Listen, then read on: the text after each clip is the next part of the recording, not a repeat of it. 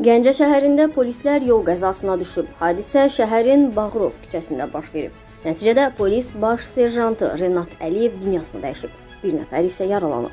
Xəsarət alan polis əməkdaşı Emin Əliyev isə xəstəxanalardan birinə yerləşdirilib. Qeyd edək ki, qəzada həyatını itirən Renat Əliyev Daxili İşlər Nazirliyinin Baş Mühafizə İdarəsinin Gəncə Regional Mühafizə İdarəsinin əməkdaşıdır.